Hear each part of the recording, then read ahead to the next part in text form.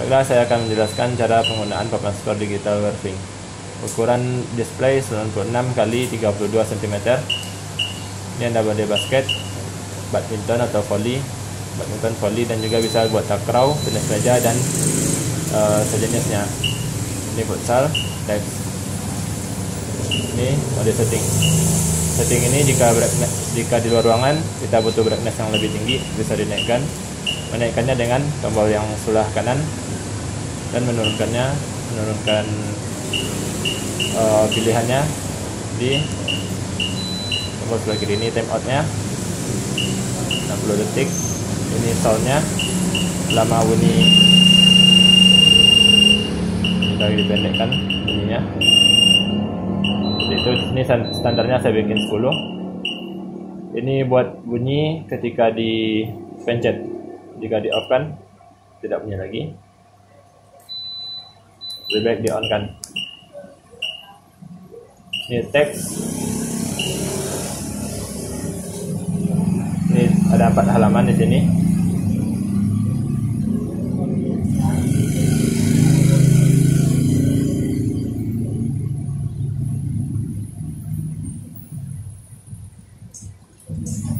Ini teksnya bisa dirubah.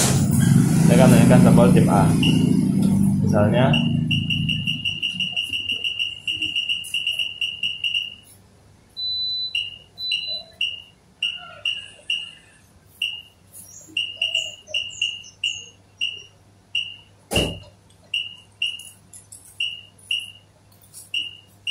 misalnya seperti ini atau mau yang lainnya. Ini halaman kedua halaman ketiga halaman keempat. Oke. Selanjutnya di mode basket. Untuk mengganti nama timnya klik tim A masukkan nama timnya. Misalnya JKT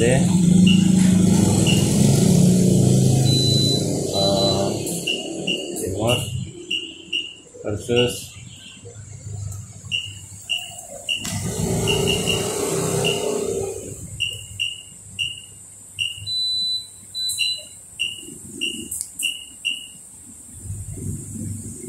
Oke, untuk mengatur timernya tekan set timer. Tekan timer yang mau diatur satu, nol, nol, nol. Setelah itu ini untuk menaikkan skornya. Untuk mengembalikan skornya ke nol, tekan reset tiga kali. Setelah itu ini maksimal skornya 999.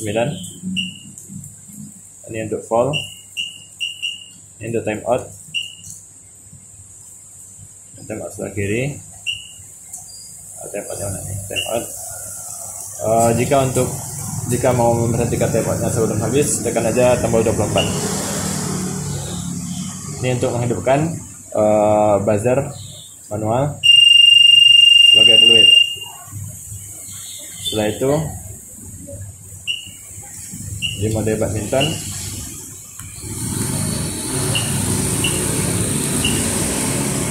Di mode badminton jika terjadi error kayak tadi itu tekan top arah panahnya aja panah satu panah dua. Cara masukkan nama timnya sama. Oh ya di sini juga bisa apa kalau ini saya masukkan dua tiga ini juga bisa jika pindah lapangan tekan tekan tombol layout maka dia akan switch dari kanan ke kiri kiri ke kanan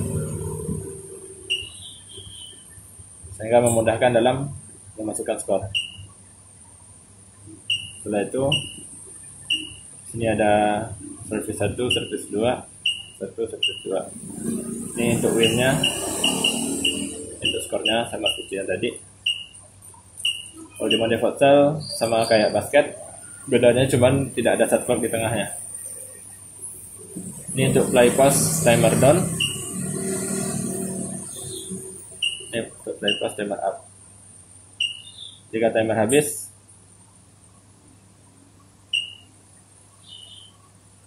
jika sedang jalan timer up tidak bisa tekan timer down pas dulu timer upnya di down kan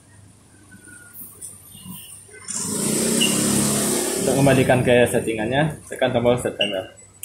Dia akan kembali ke settingan waktu pertama. Setelah itu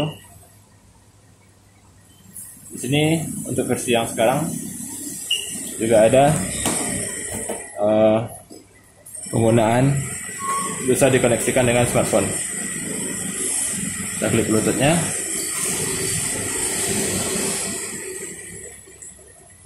dan jika smartphone yang connect maka remote-nya tidak berfungsi. Oke. Ini remote-nya baterainya cukup lama awetnya bisa sekitar 70 jam atau lebih. Dan bisa diisi ulang. Juga dapat juga sudah include sama chargernya. Ini secara desain saya bikin hampir mirip untuk teksnya di sini. Dan cara penggunaannya juga sama ini skor. Negatif posisi.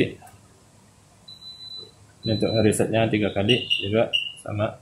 Dua kali untuk skor doang dan tiga kali untuk uh, win eh win dan fall atau fallnya masukkan teks tekan jam A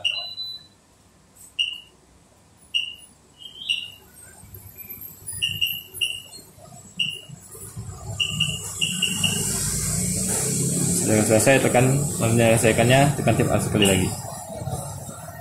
Dan Septembernya dan ini SCV uh, untuk variasi sublocknya. Oke, sekian dulu yang bisa saya jelaskan. Terima kasih.